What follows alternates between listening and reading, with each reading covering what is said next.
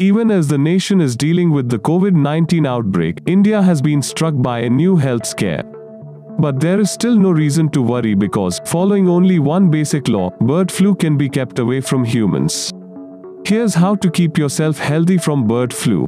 The bird flu scare sent waves of panic among chicken lovers.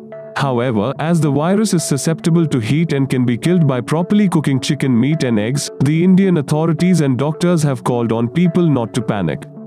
In areas where there is no avian influenza epidemic, thoroughly cooked chicken and eggs can be eaten. Be sure to observe good hygiene when you buy raw meat and use different utensils to wash and cook the meat. Do not combine raw and cooked meat, said Dr. Ravindra Kheval, additional environmental health professor. Dr. Ravindra Kheval said that as long as everyone followed basic hygiene and cooking labels, there was no need to panic. He said that no human to human transmission of the avian influenza virus has been recorded in India so far.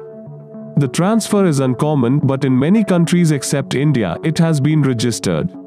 He said that in 1996, in China, this virus was first described. In India in 2007, one strain of this virus was identified. But this remained restricted to birds.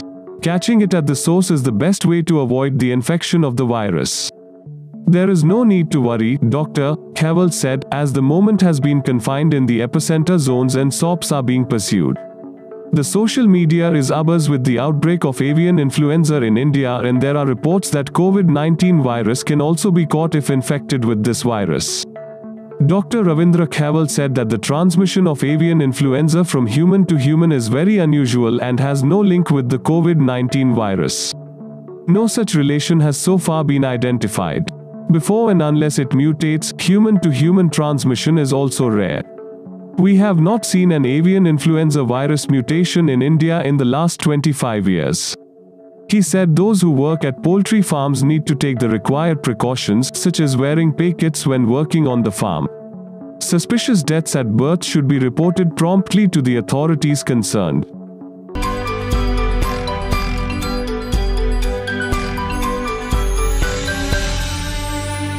Info World. Worldwide information.